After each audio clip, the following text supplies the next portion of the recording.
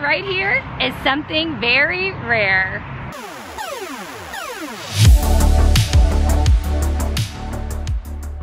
Today we're at a old Blockbuster video in Andover, Kansas. And I'm really excited and I'm passionate about Blockbuster because I used to work there. Awesome, look, he has on his shirt. Yes. Make it a Blockbuster night. Yes. Man, I wish we still had Blockbuster, especially now that with the quarantine and everything. We've been watching a ton of movies. Of course, now we can get them all on Netflix, so I guess it's a moot point. You know, kids today don't know the struggles that we know right. about renting videos. But you know, we used to also rent video games, which was pretty cool because then you could try out the game before you buy it and see if you like the game. So that was one thing that I did a lot at Blockbuster. Yep. All right, I'm really excited. So let's go check this thing out.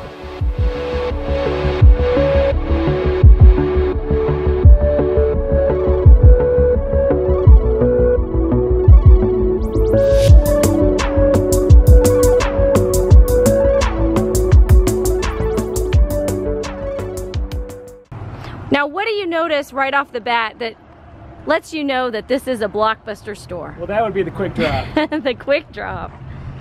So, Keith, you worked at a Blockbuster store. Yep. And where do these tapes end up if I drop my tape into the quick drop? Where does it go?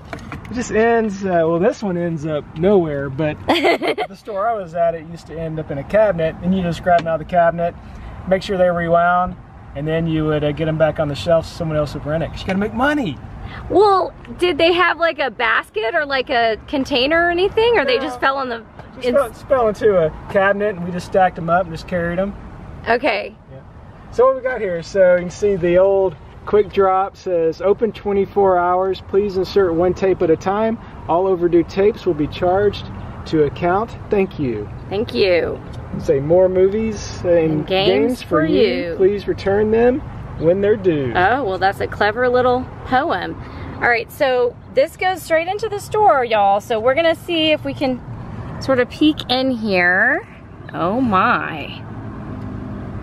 That's some bright colors in there. Now, the table and chairs don't seem like they belong in a Blockbuster store. All right, so down here you can see there's a Taco Bell sign. Oh. Some tables. So right next door is a Taco Bell, so we're assuming that the landlord that owns this empty building also owns that building. That's a reasonable assumption, I think. Yeah. So they have a lot of Taco Bell remnants, boxes and things like that. Unfortunately, one thing we've noticed is that almost all the windows have a reflective covering on them, so it's hard to get a good glimpse inside, but some of the things we can see here at the entrance are, you can see the old inner stickers with the uh, blue and yellow. Yeah. And inside, no checks accepted at this location. No, don't be paying with a check. No checks accepted.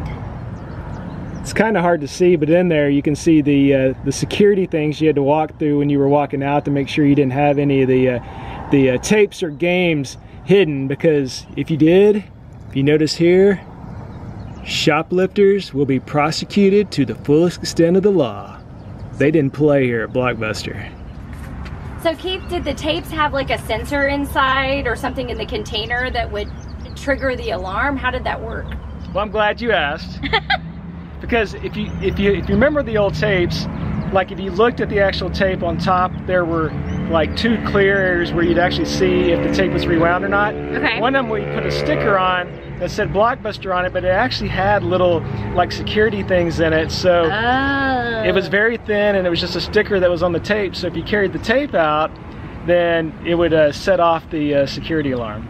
Okay, now we know. Right, Keith, the Urban Explorer.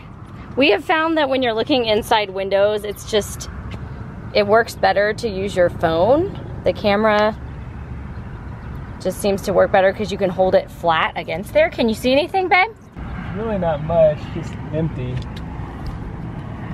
Got blue walls, got some blue carpet in the back and tile in the front.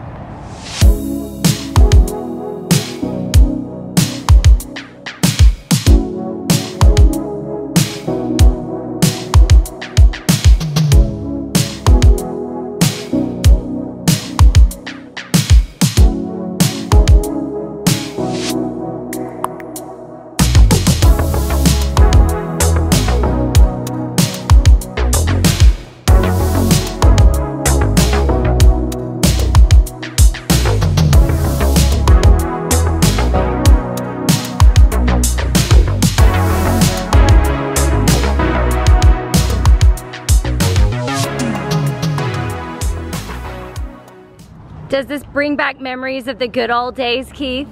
Yeah, it's really sad, but it does bring back some good memories of uh, some good times during college. That was one of your first jobs. It was one of my first jobs. And it's probably one of my favorite jobs. And it was your job when we were dating and when we were engaged and even when we were first married, you worked at a Blockbuster Right. store. Well, we brought one of our stickers, the AKA Our 80s Life. Since we've been urban exploring here today, thought we would put them down in the old quick drop. All right. I hope you returned it on time. Well, it's a cassette tape, but close enough. Hope I don't get any late fees. There it goes. AKA our 80s life was here.